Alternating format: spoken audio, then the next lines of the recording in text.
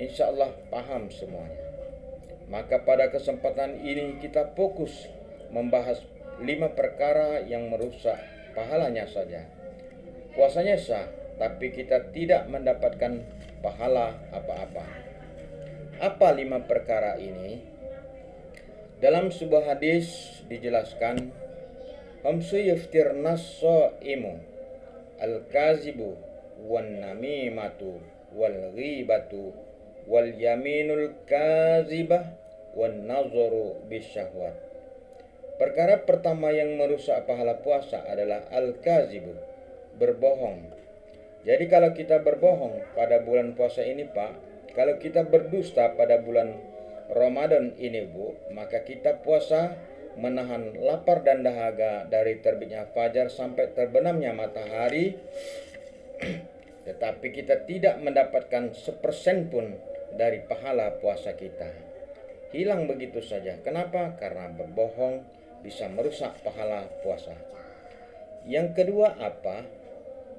Yang kedua an-namimah, adu domba. Oh, zaman sekarang ini Pak, Bu, bukan hanya sekedar dengan mulut, bukan hanya sekedar dengan lisan, bukan hanya sekedar dengan lidah, tetapi adu domba bisa menggunakan jari jemari. Ambil HP, isi kota, kemudian kita bisa berekspresi, bisa berinovasi, bisa berkreasi untuk kemudian membuat adu domba, adu domba, adu domba.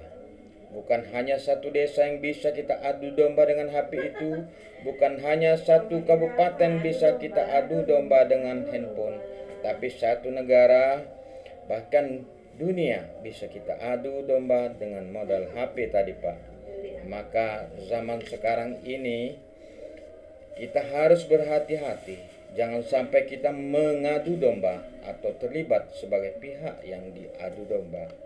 Dan kalau kita sempat mengadu domba, sekecil apa pun itu bisa merusak pahala puasa kita.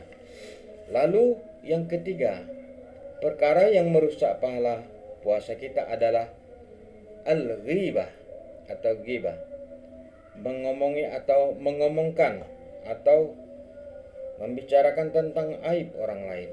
Ini luar biasa, Bapak dan Ibu. Zaman sekarang kita tengok televisi, kita tengok YouTube sedang gosip, sedang menggumbar kejelekan orang lain. Ini harus benar-benar kita hindari, Pak. Ini harus benar-benar kita hindari, Bu. Yang mengumbar dan yang mendengarkan gumbaran tersebut, yang menggibah dan yang mendengarkan gibah tersebut sama saja. Maka jangan sampai kita terlibat dalam gibah menggibah ini. Apalagi dalam bulan puasa ini, Pak. Apalagi dalam bulan puasa ini, Bu. Pahala puasa kita terbuang percuma kalau kita masih menggibah. Lalu yang keempat, perkara yang merusak pahala puasa adalah al-yaminul kazibah, bersumpah palsu, bersumpah untuk menguntungkan pihak tertentu dan merugikan pihak tertentu. Dan sumpahnya sumpah palsu. Nauzubillah summa, nauzubillah min zalik. Dan yang kelima, perkara yang merusak pahala puasa adalah an-nazaru bisyahwat, melihat dengan syahwat, dengan nafsu, Zaman sekarang ini bu, godaan mata ini luar biasa.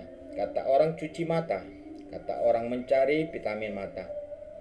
Lalu yang ditengok, Allah, YouTube itu pak, Facebook itu pak, Instagram itu pak, TikTok itu pak. Bu, kalau kita ingin mencari hal-hal yang dilarang oleh agama, ingin mencari perkara-perkara dosa mata, luar biasa banyaknya. Luar biasa banyaknya Bu. Maka kita benar-benar harus hati-hati dalam menjaga mata kita. Jangan sampai kemudian mata kita ini kita gunakan untuk maksiat.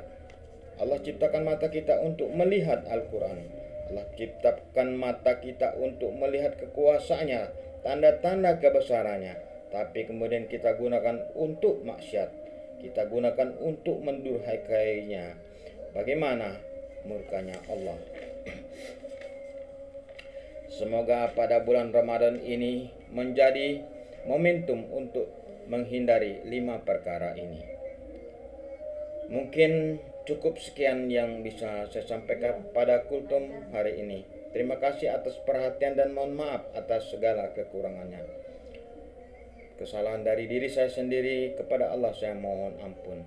Wallahu wallahul muwafiq ila aqwamit thariq. Wassalamualaikum warahmatullahi wabarakatuh.